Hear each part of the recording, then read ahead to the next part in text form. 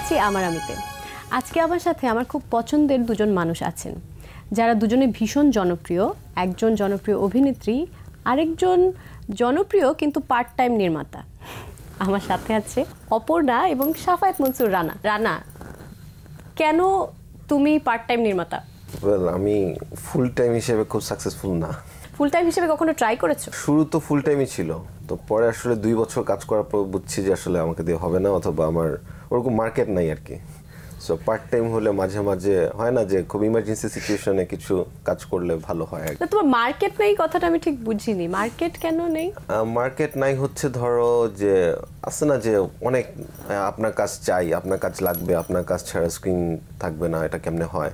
মানে ওই ধরনের সিচুয়েশন নাই আর কি মানে আমার সাথে যখনই কথা নিয়ে হয় কোনো কিছু নিয়ে আপনি তো অনেক এক্সপেন্সিভ আপনি তো অনেক বাজেট চান। আপনি আসলে যেভাবে চিন্তা করেন আমরা আসলে এফোর্ড করতে পারব না। তো প্রথমে আমার কিন্তু সেটা মনে আমার মনে হয় যে you did not take it full time because you have another profession মানে you have the skills and capability to pursue another profession সেই কারণে। হ্যাঁ হতে পারে। মানে আমি আসলে প্রথমে খুব এন্টায়ারলি চাচ্ছিলাম যে এই মেকিংয়েই থাকব।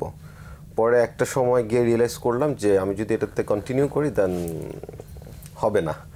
সো আমার আরেকটা হ্যাঁ ওইটা হচ্ছে আমার একটা একটা ইয়ে ছিল ন্যাক ছিল যে আচ্ছা ঠিক আছে আমি টিচিংয়ে যাব। সো এই টিচিং প্রফেশন আমি যখন শিফট করলাম দেন আই আন্ডারস্টুড যে দুইটা নৌকায় পা দেওয়াটা অনেক মজার। সেটা আমাকে জিজ্ঞেস করো দুইটা নৌকায় পা দিতে কেমন লাগে? না তুমি জানো। অপরা তুমি তো এক নৌকাতেই আছো। হ্যাঁ ফুল টাইম সব সময় অভিনেত্রী।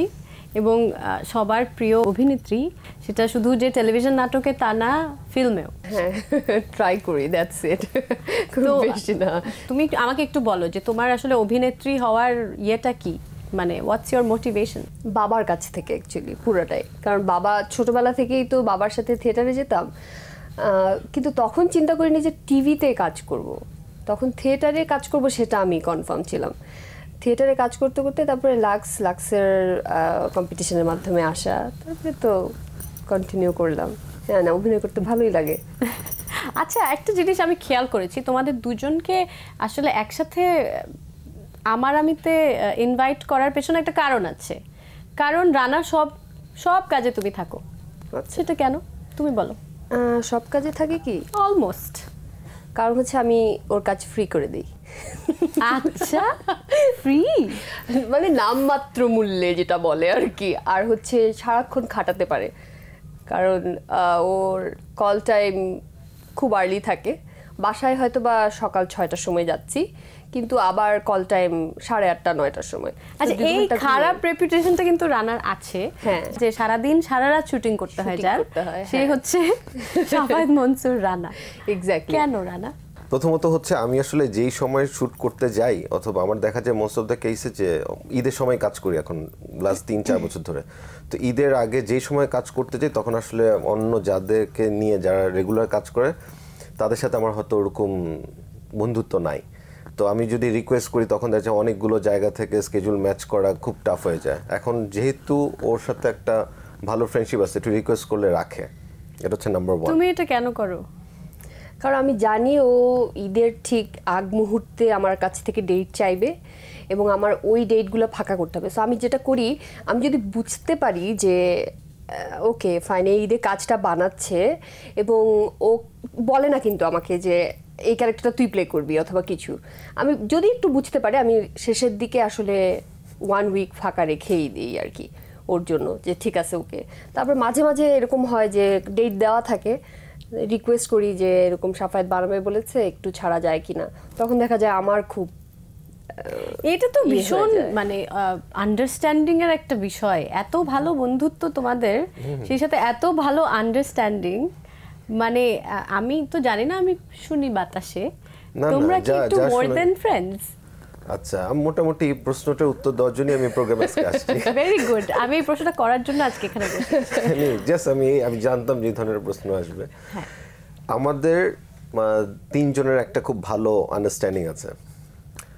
Now you can call it another name সেটা আমি জানি আরেকটা নাম তাও বলো। ওকে আমি জন ভাই আর হচ্ছে অপর্ণা। সো আমার যদি মিডিয়াতে কারোর সাথে খুব রেগুলার হ্যাং আউট হয় আমার কাজের বাইরে, সেটা হচ্ছে দুজন মানুষ আর কি, আমি সহ তিনজন। তো ওই জায়গাতে তারা অলরেডি জানে। আমার সম্বন্ধে একদম পুরো মুখস্থ। আমি কি মুভ করব, কখন কি করতেছি, হয়তো দেখা যাচ্ছে একটা গল্প নিয়ে কথা বলতেছি, ওদের সাথে শেয়ার করি। সো ওরা মোটামুটি আমার মুভটা জানে। তো একসাথে আসলে আমরা একটা প্রজেক্ট নিয়ে যখন কাজ শুরু করি টু থাউজেন্ড ফোরটিনে তখন হচ্ছে জন ভাই এবং অপর্ণাকে দিয়ে শুরু করার পরে একটা কেমিস্ট্রি বিল্ড আপ হয়েছে। এবং আমাদের যেটা হয় যে, আমরা যখন অবসর সময় গল্প করি, আমাদের গল্পটা মিডিয়া নিয়ে হয় না।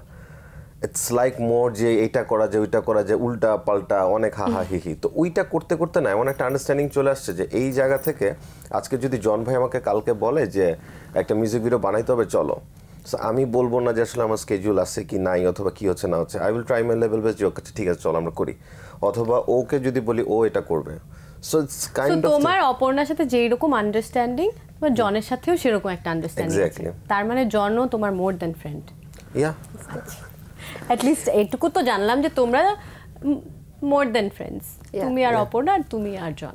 না আমার জন্য যেটা সেটা হচ্ছে যে মোর দেন ফ্রেন্ডশিপ এখন কেন মোর দেন ফ্রেন্ডশিপ বিকজ হচ্ছে যে যেইভাবে ও হেল্প করে এখন আমি যদি বলি সে ফর এক্সাম্পল শ্যুটের মধ্যে যে বললা যেটা যে ছয়টা পর্যন্ত কাজ করা। হ্যাঁ। হ্যাঁ ছয়টা পর্যন্ত কাজ করা। এইটা আসলে যত ফ্রেন্ড হোক না কেন দেখা যাচ্ছে যে লাস্টে ওই ঘ্যানোর ঘ্যানোর করবে। এখন জন ভাইও শেষ পর্যন্ত যে লাস্ট একটা প্রজেক্ট করলাম ওইটাও ছয়টা পর্যন্ত শেষ পর্যন্ত ঘ্যানোর ঘ্যানোর না আমার সিরিয়াস সিরিয়াস ঝগড়া হয়েছে রনির সাথে মানে সিরিয়াস ঝগড়া এবং কান্নাকাটি। রিসেন্ট একটা শ্যুটের কথা বলি, জন ভাইয়া সাড়ে পাঁচটার দিকে হ্যাঁ আমি শ্যুট শেষ করেছি শ্যুট শেষ করে আমি ওদের শুটিংয়ে গেছি, ওদের শ্যুট চলছিল। সাড়ে পাঁচটার দিকে আমি জন ভাই দেখছি, দেখলাম কি একদম এত টায়ার্ড উনি আমাকে বলছে, অপর্ণা, আমি কী করব, আমি জানি না, আমি, আমার মনে হচ্ছে আমি মারা যাচ্ছি। অ্যান্ড আমি বলছি, জন ভাইয়া, আপনি না বলেন না, যান আপনি সেট ছেড়ে চলে যান, কি হবে?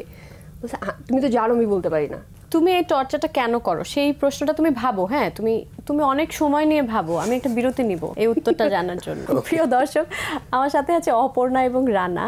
রানা যে টর্চারটা করে ওর আর্টিস্টদের সেটা কেন করে সেটা উত্তরটা আমরা জানব তার আগে নিচ্ছে একটা ছোট্ট বিরতি। সবার আগে যে প্রশ্নটা আমাকে জিজ্ঞাসা করেছে সেটা হচ্ছে আমার নিউমেশন কত দিবে মিথ্যা কথা মিথ্যা কথা। ফিরে এলাম বিরতির পর আমার সাথে আছে অপর্ণা এবং রানা। আমি বিরতিতে যাওয়ার আগে একটা প্রশ্ন করেছিলাম রানাকে যে ও যে টর্চারটা করে ওর আর্টিস্টদের সেটা কেন করে? এটা টর্চারের কিছু না। এটা হচ্ছে এটা টর্চার। না না মানে অথবা অসম্ভব একটা ইনডিসিপ্লিনড মানুষ আনঅর্গানাইজড ডিসঅর্গানাইজড একটা মানুষ সেরকম মানুষের পক্ষে এরকম করা সম্ভব। একদমই না। ব্যাপার হচ্ছে কারণ আমার মনে হয় মেকিংটা বা ডিরেকশনটা এটা খুব মেথডিক্যাল একটা জিনিস। তুমি যদি জানো তুমি কি চাও, তোমার এটা করার, করতে কেন সারাদিন আর সারা রাত লাগবে? ও মাই গড তো আচ্ছা ঠিক আছে। সো ক্যামেরার পেছনে ধরলাম আমি খুব মেথড অনুযায়ী কাজ করছি। ক্যামেরার সামনে যে আছে, তাকেও তো ওইটার আউটপুটটা দিতে হবে। ও তুমি এখন আর্টিস্টদের দোষ দিচ্ছ? Exactly. তুমি বলতে চাচ্ছ আমি- আমি- বলি, আমি যে একটা একজন জনপ্রিয় অভিনেত্রী যে অনেকগুলো ফিল্ম করেছে অনেকগুলো নাটকে কাজ অনেক হাজার হাজার নাটকে কাজ করেছে ও অ্যাক্টিং করতে পারে না তাই বলতে চাচ্ছ। ট্রাস্ট মি আমার সাথে যখন টু থাউজেন্ড ফোরটিন ওর সাথে আমার যখন দেখা হয়েছে আচ্ছা আচ্ছা প্রথম আমি একটু গল্পটা বলি। টু থাউজেন্ড ফোরটিনে আচ্ছা একটা সিরিয়ালের কাজের জন্য আমি ওকে ফোন দিছি। ফোন দিয়ে বললাম যে এরকম আপনি আপনি আপনার সাথে এই কাজ নিয়ে কথা বলতে চাই এই হচ্ছে গল্প এই সেই এই oh এই জিনিস। ও সবার আগে যে প্রশ্নটা আমাকে জিজ্ঞাসা করেছে সেটা হচ্ছে আমার রেমুনেশন কত দিবেন? মিথ্যা কথা ট্রাস্ট মি এটা মিথ্যা কথা। নো আই মিন কথা। দ্যাটস ফেয়ার মানে একজন আর্টিস্টের পারিশ্রমিকের কথা তো জিজ্ঞেস করতেই অবশ্যই কিন্তু সেটা গল্পের আগে না। নাম্বার টু ওর কল হচ্ছে সকালবেলা এগারোটা বারোটার দিকে। তো ওই দিন হচ্ছে আমাদের বিশাল অ্যারেঞ্জমেন্টের কাজ এগুলো সব কিছু রেডি করতে হচ্ছে। ও আর ওর বন্ধু হচ্ছে মিশু সাব্বির দুজনে মিলে জোট করছে। আমি তো ওদের তোকে তখন ওর তো ভালো চিনি না। তো এরা যে আবার নিজেদের মধ্যে জোট আছে আবার নিজেরা সিন্ডিকেট এইটা করে ওইটা করে অনেক ব্যাপার স্যাপার আছে। যে বুঝছি ওগুলো পরে। ওকে এরপরে সন্ধ্যার দিকে যখন ও শট স্টার্ট করলাম জাস্ট ঠিক আছে আমরা এখন শটে যাই। আমার মনে হয় প্রায় দুই থেকে আড়াই ঘণ্টা লাগছে ওর শট ওকে হতে। ও বলতে চাচ্ছে যে ফোরটিনে তোমার অ্যাক্টিং ভালো ছিল না কি- এখনও সেটা নেই। আচ্ছা। হ্যাঁ সেটা আমি অবশ্যই অ্যাগ্রি করছি যে ওর অ্যাক্টিং মেথড একদম ডিফারেন্ট দ্যাটস ট্রু যে আসলেই অ্যাক্টিং ভালো হওয়ার পেছনে কিন্তু ও- ওরই অবদান কিছুটা আমি বলব। ইফতেখার আহমেদ ফাহমি এবং ও। না সত্যি? না এটা আমি আমি স্বীকার করি ঠিক আছে ওকে অ্যাপ্রিসিয়েট করো। স্বীকার করছি যে আমি না তুমি বলছো যে অ্যাক্টিং ভালোর পিছনে শাফেদ মনসুর রানা আর ইফতেখার আহমেদ ফামির যদি অবদান থাকে ইফতেখার হ্যাঁ। আহমেদ ফামি কি তোমার অভিনয় ঠিক করার জন্য সারা দিন সারা রাত সময় নিয়েছিল আমার মনে হয় না। সারা দিন সারা রাত সময় নেয়নি বাট ফামি ভাইয়া যতক্ষণ পর্যন্ত না আমি প্রপার ডেলিভারিটা দিচ্ছি তত ততক্ষণ পর্যন্ত ফামি হ্যাঁ, কিন্তু তারপরও করতো। সারা দিন সারা রাত ফামি রেকর্ড নেই। আমারটা যেটা হয় ওর মানে সিন শুরু হতে হতে বিকাল হয়ে যায় যেন বোর হয়ে যায় না ফামি হয়তো সকালে স্টার্ট করতে আই ডোন্ট নো হ্যাঁ হ্যাঁ। হ্যাঁ ফামি সকালে স্টার্ট করতো। আর আমি আমার নিজের সেটে ভাই আমার একটা মানে দোষ আছে সেটা হচ্ছে যে আমি আর্লি রাইজার না সো আচ্ছা সেই এইবার আমরা পয়েন্টে এসেছি যে আমাদের ডিরেক্টর সাহেব আর্লি রাইজার না। তো যেটা হয় আমি কিন্তু কখনো ওরকম যে খুব ও যেটা বলছে খুব আর্লি কল দিয়ে ব্যাপারটা কিন্তু তা না। এরকম মাঝে মাঝে দেখা যাচ্ছে আমি যখন বুঝি যে আমি আসলে দুপুর আগে শুরু করব না তখন বলছি দুপুর সময় আসো। আমি তো বলেই দিচ্ছি। সাফায়েত মিথ্যা কথা। বিশ্বাস করো আপু মাঝে মাঝে শুটিং এ সাড়ে আটটার সময় এটা মাঝে মাঝে মাঝে মাঝে সবসময় মাঝখানে একটা ও পার্থক্য তো আছে। মাঝে মাঝেই শুটিং করে। এক্স্যাক্টলি ও আচ্ছা ও শুটিং করে না। ও আচ্ছা। ওকে। তুমি কিন্তু পারছ না তোমার লজিকগুলো হচ্ছে না। তুমি এটা বুঝতে পারছ? আমি আই ক্যান? আন্ডারস্ট্যান্ড যে এখানে একটা সিন্ডিকেট আছে দ্যাটস ইট ও ও আচ্ছা এখন আমাদের সিন্ডিকেট আমি আর অপর্ণা আমরা কি কখনো একসাথে কাজ করেছি? কাজ করেছি you are artist you guys are artist. That's it housefull সেটা মানে তখন মানে একসাথে আমরা কখনো স্ক্রিন শেয়ার করি এবং হ্যাঁ। আমাদের কখনো দেখা হয় না। আমার সবসময় অপর্ণার সাথে যখন আমার দেখা হয় তখনও তোমার সাথে থাকে হ্যাঁ। বিভিন্ন জায়গায়। তো সেটা ছাড়া তো আমাদের মধ্যে সিন্ডিকেট হওয়ার কোনো কারণ নেই। কারণই নয় না তোমরা দুজনেই আর্টিস্ট দ্যাটস ইট এটা একটা গালি ছিল না না। একটা গালি ছিল। দুইজনই আর্টিস্ট তোমরা দুজনেই খুব ভালো মতো জানো যে আসলে ডিরেক্টরকে কি বলতে হবে। এটা আমাদের দর্শকরা ডিসাইড করবে কারণ দর্শকরা ডিরেক্টর লজিক শুনতে পেরেছে। No one gonna bother about it যে আসলে ছয়টা পর্যন্ত হবে কি হবে না। End of the day people gonna জাজ ইট যে অ্যাকচুয়ালি স্ক্রিনে কি হচ্ছে। আর্টিস্ট থেকে কেমন দেখা যাচ্ছে ওদের অ্যাক্টিং ডিরেক্টর যদি দুপুরবেলা সেটে আসে সেই কারণে সারা রাত হতেই পারে। উই আন্ডারস্ট্যান্ড দ্যাট আমাদের মতো আর্টিস্টরা আন্ডারস্ট্যান্ডিং আর্টিস্টরা মিডিয়াতে আছে বলেই অনেক ডিরেক্টররা সার্ভাইভ করতে পারছে I completely appreciate it. No problem but still I will do my কিন্তু তারপর আমি জিজ্ঞেস করব যে টু থাউজেন্ড ফোরটিনের পরে টু থাউজেন্ড নাইনটিনে অপর্ণার অ্যাক্টিং কি বেটার হয়নি? জীবন করবে না? না না আমি আমি অনেস্ট অ্যান্সার দেই। হ্যাঁ না অ্যাক্টিং ইমপ্রুভ করছে। মানে আগে যেটা ছিল সেই জায়গা থেকে এখন অ্যাক্টিং অনেকখানি ইম্প্রুভ করছে। বাট ব্যাপার হচ্ছে কি যে উইথ দ্য ফ্লো আসলে আমি অন্য কারোর কথা বলতে চাই না বাট ফ্লোতে অ্যাক্টিং আসলে যেই ধরনের অ্যাক্টিংটা হচ্ছে অ্যাক্টিং আসলে কিছু ডেভেলপমেন্ট সবসময় দরকার। এখন ইদার হয়তো প্রজেক্ট হয় না, অথবা ওরকম কাজ, আমি জানি না কোয়ান্টিটির জায়গাটা কি, তো সেই জায়গা থেকে তখন দেখা যায় যে এক্সপেকটেশনে যে লেভেলে হওয়ার কথা ছিল, সেখানে একটা কত গ্যাপ থাকে আর কি। বাট স্টিল আগে টু থাউজেন্ড ফোরটিন আর নাইনটিন গ্রাজুয়ালি অনেক ইম্প্রুভ করছে। মানে এত ও মাই গড হ্যাঁ মানে আমি জানি না যে তুমি কেন ওর জন্য এত স্যাক্রিফাইস করো এনিওয়ে সো আমরা অনেকক্ষণ রানাকে নিয়ে কথা বলেছি এখন ওকে একটু ইগনোর করি। না. ওকে কারণ আছে উবার ড্রাইভার কিছুটা that is why Uber driver are very useful in life ঠিক আছে? ওকে হ্যাঁ। ঠিক আছে? ওকে আমরা এখন একটু উবারদেরকে ইয়ে করি ইগনোর করি। আচ্ছা অপর্ণা তুমি তুমি কয়টা তুমি তো ফিল্মে কাজ করেছ কয়টা কয়টা ফিল্মে কাজ? আমার সাতটা সাতটা? সাতটা। ওয়াও হ্যাঁ আর নেক্সট আরেকটা কাজ করছি গন্ডিতে ফখরুল আরিফিন খান। আচ্ছা। ওনারই কাজ যা লাস্ট যেটা ভুবন মাঝি ছিল আরিফিন ভাইয়েরই নতুন সিনেমা গন্ডি ওটাতে কাজ করছি সেপ্টেম্বরে শুটে যাব। অলরেডি শ্যুট করেছি লাস্ট ডিসেম্বরে দুই দিনের জন্য লন্ডনে শ্যুট ছিল। ওই শ্যুট শেষ করে এসেছি। তারপর কিছুটা কক্সবাজারে শ্যুট হয়েছে আর সেপ্টেম্বরে শ্যুট হবে। আচ্ছা। আর এবার ঈদের কাজ তো করেছ টেলিভিশনের কাজ তো হ্যাঁ কিন্তু ওরকম করে না। মার্কেট নাই। যে সাতটা ফিল্মে কাজ করেছে আর অসংখ্য নাটকে কাজ করেছে। আর যে একটা ফিল্ম এখনও বানাতে পারেনি সে বলছে যে মার্কেট না না এই এই- এইবার ঈদে মার্কেট ঠিক আছে অন দ্যাট পয়েন্ট আমি এখনই একটা বিরতি দিব কারণ আমি জানি এই বিষয়ে আপনার অনেক কিছু বলার আছে সেটা আমরা বিরতির পরে শুনব। প্রিয় দর্শক একটু পরে একটা মারামারি হতে পারে অথবা ছোট্ট একটা ঝগড়া হতে পারে। তো সেটার জন্য একটু ধৈর্য ধরে অপেক্ষা করুন নিচ্ছে একটা ছোট্ট বিরতি। ও হচ্ছে আমাদের সাথে আসার পরে ওর লাইফে কিছু লার্নিং হয়েছে। ও কিছু জিনিস শিখছে। ফিরে এলাম বিরতির পর। আমরা বিরতিতে যাওয়ার আগে দর্শকদের একটা আশা দিয়েছিলাম যে একটা ঝগড়া হলেও হতে পারে অপর্ণা। তুমি কিছু বলো। অ্যাকচুয়ালি কিছু বলার নাই। কিছু মানুষ থাকে না যে আপনার পেছনে বলেই যাবে আপনার সামনে সামনেই সামনেই আচ্ছা সামনেই বলছে। হ্যাঁ কন্টিনিউয়াসলি কানের কাছে জন ও সারাক্ষণ ও আচ্ছা তোমার মার্কেট নাই না? তোমার মার্কেট নাই তোমাকে এখন কেউ কাজে নেয় না। না। গল্প মানে দুইটা যে- এমন দুটো মানুষ বলছে। মানে কন্টিনিউস আমি আমার বাসায় দাওয়াত দিই ওদেরকে বাসায় দাওয়াত খেয়ে আমার বাসায় খেয়ে তারপরে আবার আমার বদনাম করে। ও তুমি আজকে বাসায় রান্না করেছ কেন? আজকে কাজ নাই? অথচ আমি কিন্তু ব্রেক আজকে আমার ব্রেক আমি হয়তো বলছি আচ্ছা আসো নেটফ্লিক্স দেখি। আমি ওদের জন্য রান্না করছি। Why are you being so nice to them and to him? Why? Because আমার আমার ওর সাথে কারও কারও ফ্রেন্ডশিপ হয়ও না। কেউ থাকেও না ফ্রেন্ড টেন্ড হয় না। মানে আমি কনসিডার করি।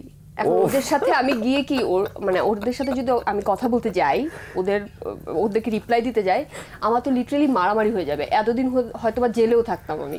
যদি আমি।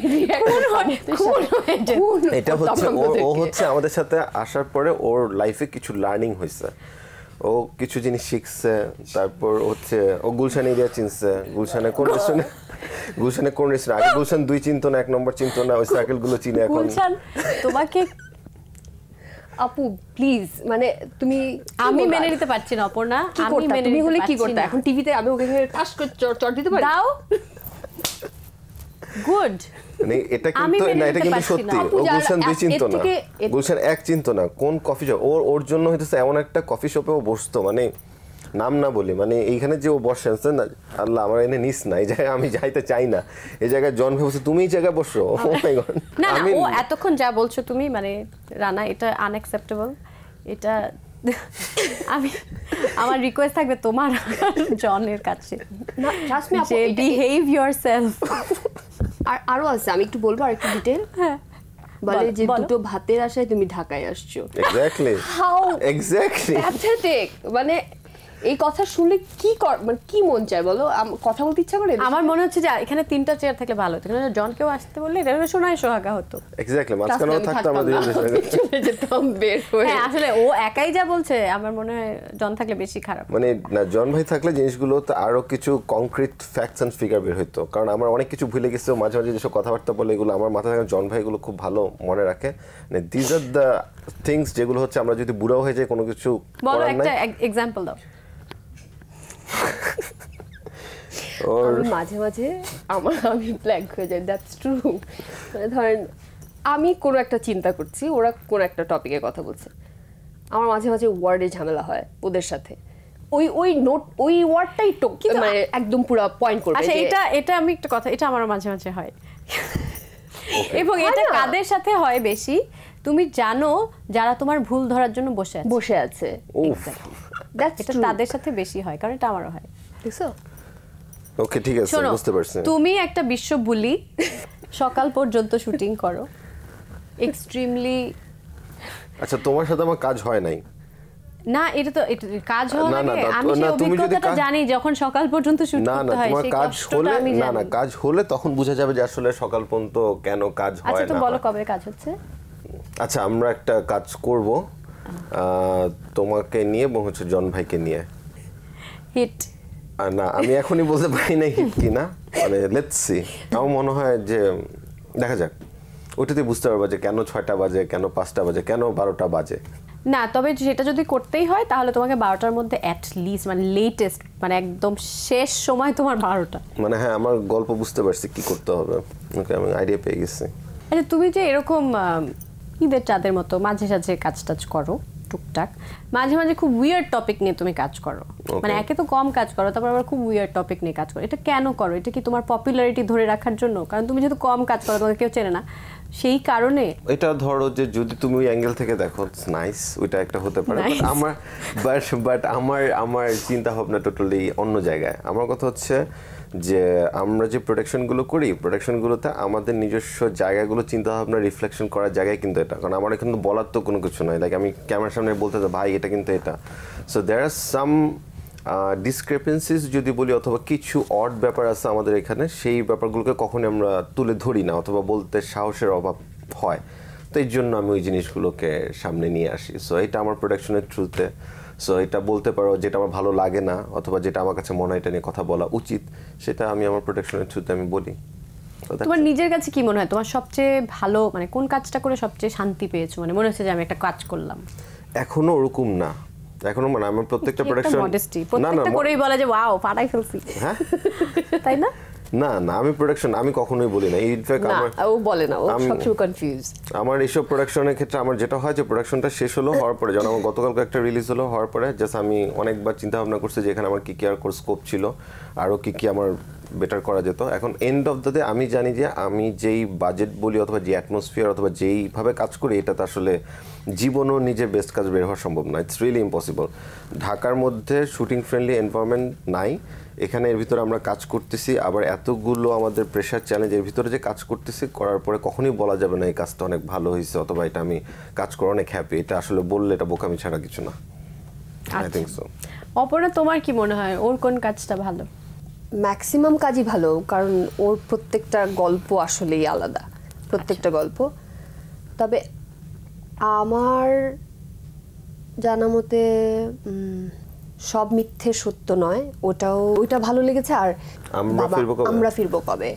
দুটো নাটক আমার খুব ভালো লেগেছে। তোমার ওর সুনাম গাইতে খুব ভালো লাগে। না সেইটুকু আমি বুঝতে ভালো কাজ সেটা আমি অবশ্যই আমি অ্যাডমিট করব আর তোমার নিজের কাজ কোনটা? মানে একটা কাজের কথা বলো যেটা তোমার শান্তি লেগেছে। অনেক কাজ আছে যেগুলো করে আমি আমি নিজে স্যাটিসফাইড অনেক কাজ। Sad very sad why sad না দ্যাটস ট্রু আমি অ্যাক্টিং করে যেটাতে আমি আমি মজা পেয়েছি না, আমার আমার তোমার অনেক কাজ- ক্যারেক্টারটা প্লে করে করতে পেরেছি ভালোভাবে সেটাই আমি আমার মনে হয় আমি ওর কোন কাজটা তোমার ভালো লেগেছে। ওর অনেক কাজ আমার ভালো অনেক কাজ লেগেছে বলতে এবং কোনটা? আমার মনে হয় she is a very good fine, I got it, but- but কথা হচ্ছে কোন কাজটা? Aparna best of luck with your upcoming film thank you আমি জানি যে সবাই অপেক্ষা করছে তোমার ভালো নতুন কাজ দেখার জন্য। আর সেসব ডিরেক্টরদেরকে আমরা আপাতত ইগনোর করি। যারা। সারা রাত কাজ করাবে সারা দিন কাজ করাবে তারপর বলবে যে অ্যাক্টিং ভালো করে না। আচ্ছা। নিজের দোষটা যারা স্বীকার হ্যাঁ। করতে পারে না তাদেরকে আমরা ইগনোর করি। এবং আশা করছি তারা শুধরাবেন তারা আর্টিস্টদের প্রতি সদয় হবেন এবং তারা পার্ট টাইম ডিরেকশন থেকে কোনোদিন বেরিয়ে আসতে পারবেন বড় কিছু দিতে পারবেন আমাদেরকে। সেই প্রত্যাশা নিয়ে আজকে বিদায় নেব। অনেক অনেক ধন্যবাদ আমার আমিতে আসার জন্য।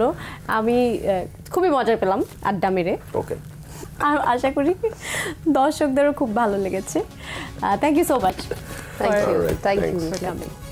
প্রিয় দর্শক এতক্ষণ গল্প করলাম অপর্ণা এবং রানার সাথে এবং ওদের যে লাভ হেট রিলেশনশিপ এবং মোর দেন ফ্রেন্ডশিপ সেগুলো বিষয়ে জানলাম। সামনে আশা করি রানা আরও দু একটা বেশি কাজ আমাদেরকে উপহার দিতে পারবে আর অপর্ণা তো অসংখ্য নাটক অসংখ্য ফিল্ম সামনে আসবে। আমরা সেই জন্য অধীর আগ্রহে অপেক্ষা করছি। আজকে বিদায় নিচ্ছি দেখা হবে আগামী পর্বে নতুন করে